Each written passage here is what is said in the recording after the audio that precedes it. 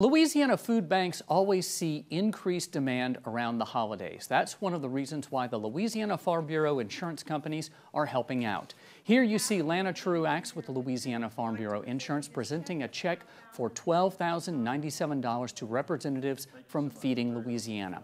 That's the organization that represents food banks across the state. Aside from the cash donation, Louisiana Farm Bureau Insurance employees donated non-perishable food items to the Greater Baton Rouge Food Bank. Greater Baton Rouge Food Bank President and CEO Mike Manning says donations like this are vital. Louisiana's number one in child food insecurity, number three in senior food insecurity, so it's extremely important that we get every dollar we possibly can. And with inflation, the increase in gasoline prices, we're seeing more people get back in line to get assistance from us who had gotten out of line. So it's really an, an increasing challenge as we move forward. The Louisiana Farm Bureau insurance companies have a long history of supporting food banks. Many employees volunteer their time to pack boxes of food. The Louisiana Farm Bureau Young Farmers and Ranchers also hold annual fundraisers for food banks across the state.